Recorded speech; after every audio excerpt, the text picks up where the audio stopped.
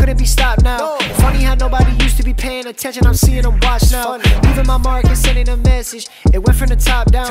You will not see me in pictures with exes, cause they getting cropped out. they causing havoc, turmoil and malice. They want me to chill now. Not put my foot on their neck when they gave me a chance. I did it until now, but it's a new day. New era, left it all in the rear view mirror. Hit a two for one, it's a win win, I can't lose here.